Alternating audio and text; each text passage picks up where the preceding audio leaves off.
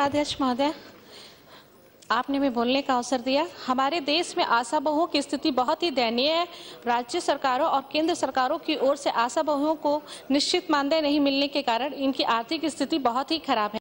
हमारे उत्तर प्रदेश में सन 2006 में एक हज़ार की आबादी में एक ग्राम सभा में एक आशा बहुओं की नियुक्ति हुई।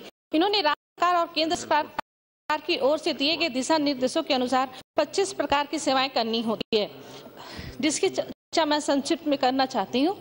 नवजात शिशुओं से पाँच साल तक के बच्चों का टीकाकरण 10 से 16 वर्षों की किशोरों और गर्भवती महिलाओं को टीकाकरण लगवाना, प्रसव पीड़ा के समय विषम परिस्थितियों में स्वास्थ्य केंद्र तक पहुंचाना, प्रसव कराना, शिशुओं को स्तनपान करवाना, प्रसव के बाद जच्चा बच्चा को उनके घर आना राष्ट्रीय कार्यक्रमों में टीबी, फाइलेरिया, कुष्ठ रोग, फैजा, दस्त, दवा बांटना और पल्स पोलियो में दवा पिलाना सभी प्रकार के रजिस्टर मेंटेन कर, करना ओके, ओके। इन्हें पूरे कार्य करना। मैं सदन के माध्यम से केंद्र सरकार से मांग करती हूँ कि आशा को माहवारी निश्चित मानदेय तय किया जाए तथा इनके घरों में चूल्हा जल और इन्हें पूरे स्वास्थ्य करने का दर्जा दिया जाए और इनकी सुरक्षा व्यवस्था की जाए और प्रसव केंद्र पर व्यवस्था दी जाए। बहुत बहुत धन्यवाद।